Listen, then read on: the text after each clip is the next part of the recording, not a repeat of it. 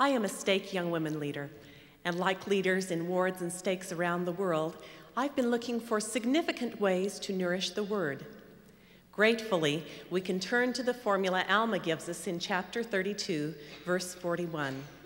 He says, But if ye will nourish the word, yea, nourish the tree as it beginneth to grow, by your faith, with great diligence and with patience, looking forward to the fruit thereof, it shall take root, and behold, it shall be a tree springing up unto everlasting life.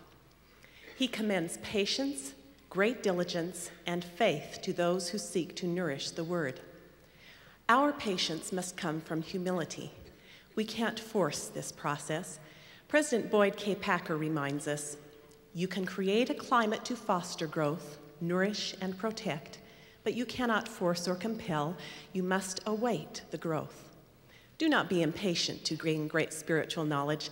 Let it grow, help it grow, but do not force it, or you will open the way to be misled.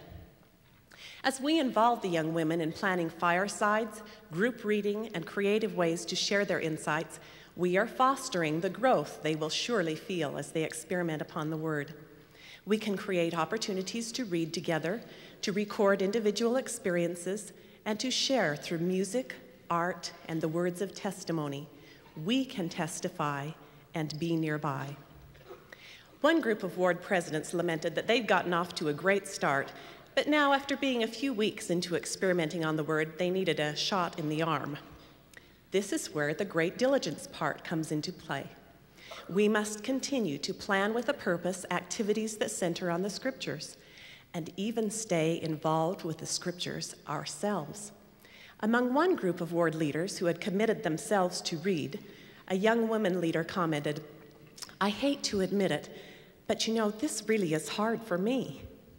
Others in the group obviously appreciated her honesty as they then expressed some of their own struggles and need to set realistic goals. Surely the young women in that ward will find empathy and very practical helps from leaders who have wrestled to find patience and diligence themselves.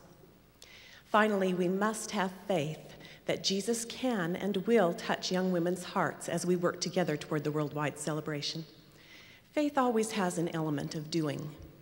John 7 17 gives us hope that if any young woman will do his will, she will know of the doctrine.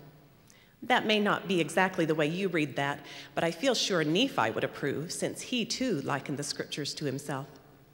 Service and personal progress projects are real nourishers of the word or doctrine.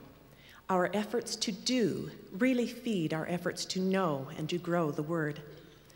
And surely our faith must involve prayers for and with our young women in their efforts. My father composed a piece which includes this prayer for all of us. O Lord, I would hear thy word which thou sendest me in thy mercy. Unseal my heart that I may lift it unto thee. Unlock my searching spirit that I may seek thee. Heal thou my deafened ears.